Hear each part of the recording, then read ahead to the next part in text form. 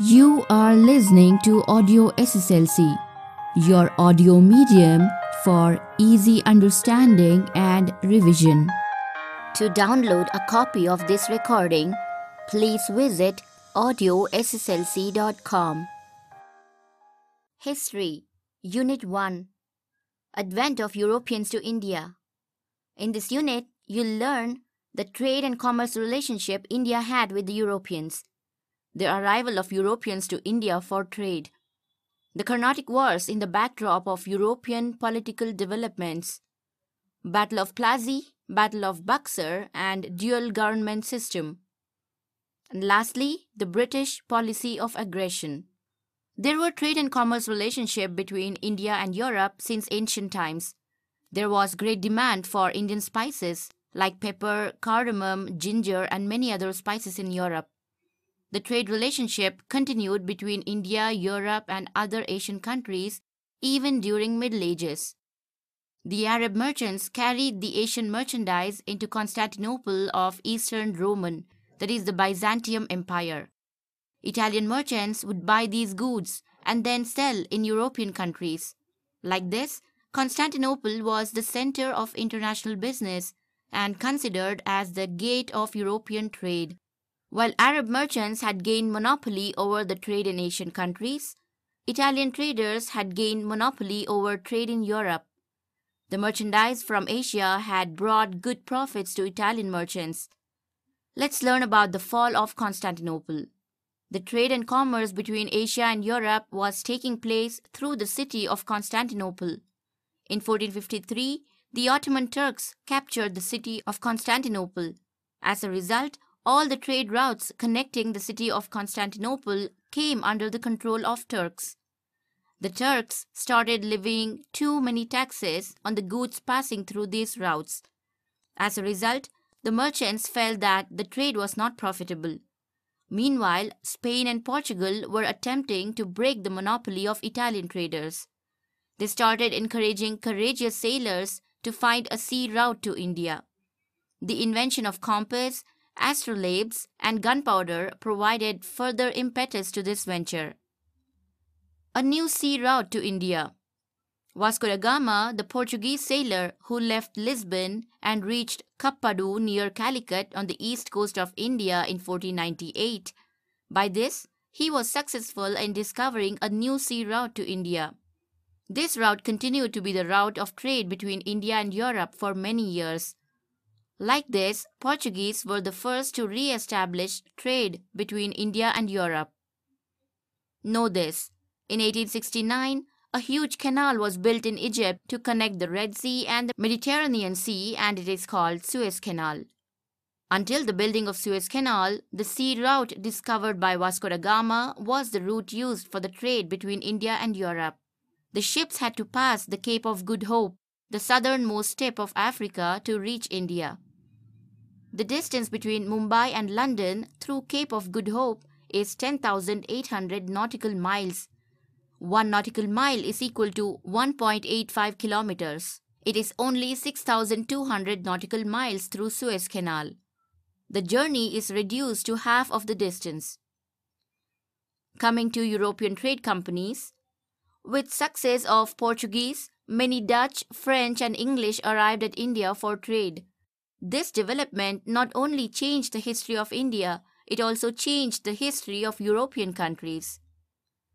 Let's learn about the Portuguese. Portuguese were the first to arrive at India for the trade and were also the last to leave India on the sea route. After Vasco da Gama, Francisco de Almeida arrived in India as the Viceroy of Portuguese. He implemented blue water policy in order to establish the supremacy over the sea instead of supremacy over lands. Alfonso de Albuquerque, who came after Almeida, is considered as the real founder of Portuguese empire in India. He waged a battle against the Sultan of Bijapur in 1510 and won Goa. Goa became the administrative center of Portuguese administration in India. The Portuguese had absolute monopoly over trade with India for almost a century, and their power declined with the arrival of English and French in India. Let's learn about the Dutch. Dutch are from Holland or Netherlands. They established United East India Company in 1602 with the aim of doing business with eastern countries and entered countries like India, Java, Sumatra, Indonesia, and spices-rich islands. They established warehouses in Surat, Broach, Cambay, Cochin, Nagapattinam, Masulipatanam, and Chinsor and other places in India. With this, they broke the monopoly of Portuguese in India. Later, unable to face competition from English and French, Dutch limited themselves to spice-rich islands. Know this. The warehouses were the places of storing merchandise. Huge walls were built around these warehouses to provide protection. Let's learn about the English. In 1600, December 31, Queen Elizabeth issued a royal charter authorizing East India Company to trade with eastern countries for 15 years. The company started the business formally in 1613. The Mughal Emperor Jahangir issued a royal permission to English to establish their first warehouse of factory at Surat. In 1617, Sir Thomas Roe arrived at the court of Jahangir as the royal ambassador from the court of James I. He sought permission from Jahangir to establish factories in other places of Mughal Empire. English established factories in Agra, Ahmedabad and Broach. In 1639, English took Madras from the king of Chandragiri and established a strong fort named St. George Fort. Later, Charles II, the Prince of England, gave Bombay as an annual rent of 10 pounds a year to East India Company in 1668. In 1690, the English purchased three villages, namely Sutanoti, Kalikata, and Govindapura on the banks of Hooghly River and built Fort William. The city of Calcutta grew around this fort. By 17th century, the English had established Bombay, Madras and Calcutta as the centers of their presidencies. By the later part of 18th century, the English made Calcutta as their capital city. They implemented their own civil and criminal procedure codes in the areas that were under their control. Let's learn about the French. French East India Company started as a government-owned company in 1664. It started its first factory in Surat in the year 1668. Later, they established its factories in Machilipatnam, Chandranagara, Mahe, Karaikallu, Kosimbazar, Balasur. In 1674, the French took Valikandapuram from a local Muslim official and developed it as a major trade center. That center is Puducherry or Pondicherry. Dupleix, who arrived in Pondicherry as the Governor General of French, had the high ambitions of establishing French as the major power in South India. This ambition led to Carnatic wars with the English. The competition between English and French. The Portuguese and Dutch had withdrawn from India unable to withstand the competition from French and English by the 18th century. Finally, French and English resorted to show strength in order to establish their political supremacy over India. Meanwhile, political volatility arose in the regions of Hyderabad and Carnatic, that is, eastern part of Tamil Nadu, and both the English and French tried to exploit the situation in their favor. This led to the three Carnatic Wars. Know this Hyderabad kingdom was established in 1724 by Asaf Jah. His feudatory ruler Dost Ali, who was ruling Carnatic region, was not loyal to him. The Marathas killed Dost Ali in 1740 and looted Carnatic and imprisoned his son-in-law Chanda Sahib in Satara. Asaf Jah named Anwaruddin as the Nawab of Carnatic in the place of Dost Ali. First Carnatic War 1746 to 48. On the request of Dupleix, La Bourdonnais, a French military leader from Mauritius, invaded Madras and captured it. This forced the helpless British to request the help of Anwaruddin, the Nawab of Carnatic, for support. The army sent by Anwaruddin failed to defeat the French at Madras. Finally, La Bourdonnais took money from the British and returned Madras and went back to Mauritius. This enraged Dupleix and attempted to take Madras but failed in it. Finally, this war ended with a treaty in Europe between France and England called Treaty of Aix-la-Chapelle. Know this, the Nizam of Hyderabad Asaf Jah died in 1748. A tussle started between his son Nazir Jung and his daughter's son Mujaffar Jung for the throne. On the other hand, a fight had broke out between Chanda Sahib, who was released from the Maratha prison, and Anwaruddin in Carnatic. French extended their support to Mujaffar Jung in Hyderabad and Chanda Sahib in Carnatic. The English extended their support supported Nazir Jung and Anwaruddin. In 1749, the combined forces of French, Chanda Sahib and Mujaffar Jung defeated Anwaruddin and killed him in Ambur battle. As a result, Chanda Sahib became the ruler of Carnatic. Muhammad Ali, the son of Anwaruddin, stayed at Tiruchinappalli with the help of English. In Hyderabad, Mujaffar Jung became the Nizam by killing Nazir Jung with the help of French and Chanda Sahib. He got killed after a few days. The French made Salabat Jung, another son of Asaf Jah, as the Nizam of Hyderabad. You are listening to Audio SSLC, your audio medium for easy understanding and revision. To download a copy of this recording, please visit audiosslc.com. Second Carnatic War, 1749 to 1754. In the changed circumstances, French made Salabat Jung, another son of Asaf Jah, as the Nizam of Hyderabad. An officer named Bussy was stationed in Hyderabad for his protection by French. In Carnatic, Chanda Sahib was a Nawab with the help of French. Robert Clive of East India Company attacked Arcot, the capital city of Carnatic, and defeated Chanda Sahib. Chanda Sahib was imprisoned and later killed in this war. In the place of Chanda Sahib, the English named Muhammad Ali, the son of Anwaruddin, as a Nawab of Carnatic. The Second Carnatic War ended with the Treaty of Pondicherry. French recalled Dupleix. This war brought laurels to English, while French suffered a political setback. Third Carnatic War 1756 to 1763 Comte de Lally of French attempted to besiege Wandiwash in 1760. In this decisive battle, Sir Eyre Coote of the English army defeated the French and imprisoned Bussy. Lally escaped and hid in Pondicherry. Finally, Eyre Coote attacked Pondicherry and Lally had to surrender unconditionally in 1761. French had to lose all their bases in India due to Carnatic Wars. In spite of this, as per the Treaty of Paris in 1763, Pondicherry was returned to French. With these developments, French lost their importance in India. Like this, English, by defeating all their rivals, started consolidating their power over the southern India. Know this Robert Clive.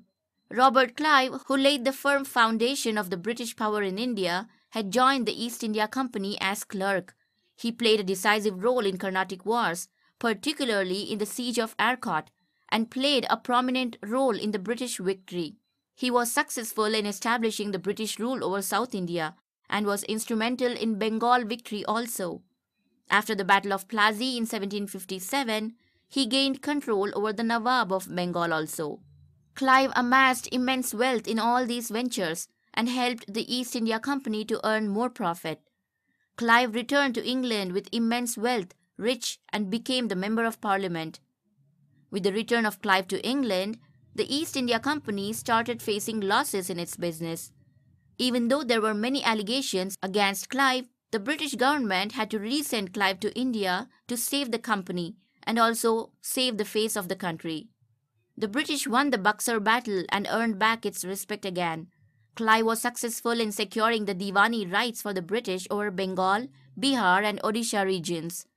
This brought more wealth to Robert Clive and to East India Company as well. Dupleix. Dupleix was named the Governor General of French regions in India in 1742. He dreamt of achieving French harmony over India and entered into treaties with the local kings. Hyder Ali was also trained in the army of locals raised by Dupleix.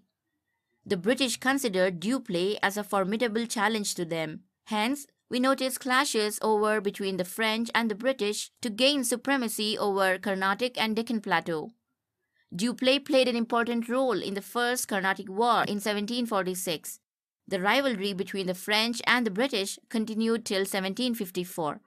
Later, French government recalled Dupleix as it wanted peace. Coming to the British rule in India. After gaining political control over South India, the British tried to gain control over rich Bengal province in the later part of the 18th century. The Bengal province had achieved tremendous growth in the area of agriculture, commerce, and industry.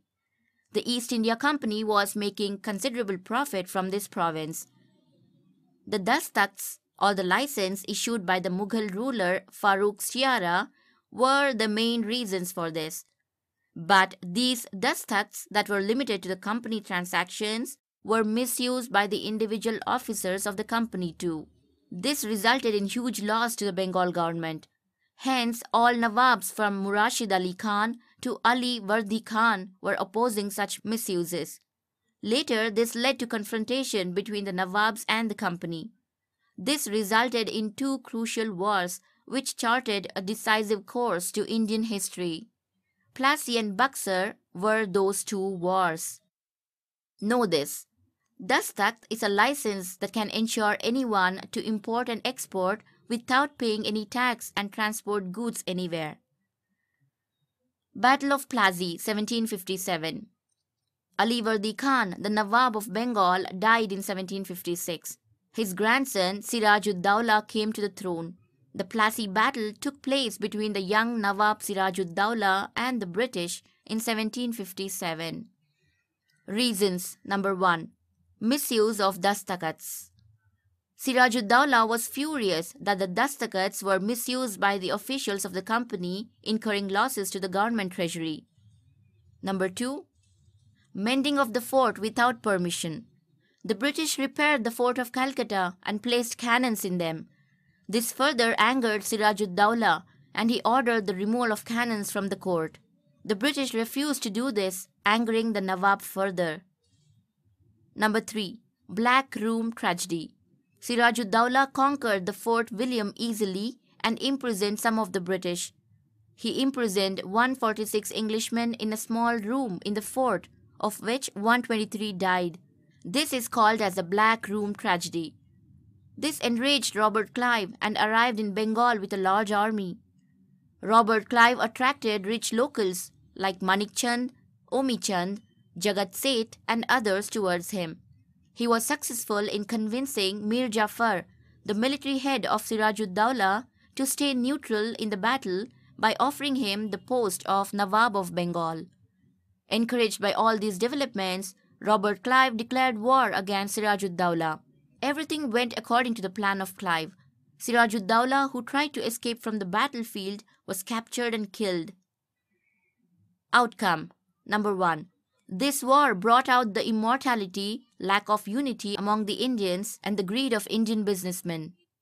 Number 2. Mir Jafar became the Nawab of Bengal. Number 3. The company gained exclusive rights to do business in Bengal. Number 4.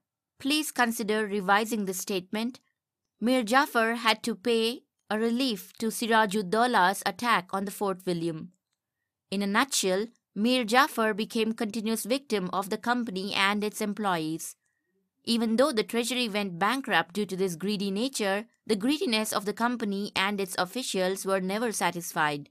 The British projected Mir Jafar as an inefficient Nawab and brought in his nephew Mir Kazim as the new Nawab. Battle of Buxar 1764. Mir Kazim was an efficient administrator. In the beginning, he remained loyal to the company. He paid 2 lakh pounds to the company and gave away few places to it. Shortly, he declared himself as an independent king. After verifying the misuse of dastakats, he declared that the business is duty-free in Bengal. As a result, the Indians competed against British in all spheres of business. As a result, the British trade suffered considerably. This was enough for the British to oppose the Nawab. They brought in Mir Jafar again and dethroned Mir Kazim.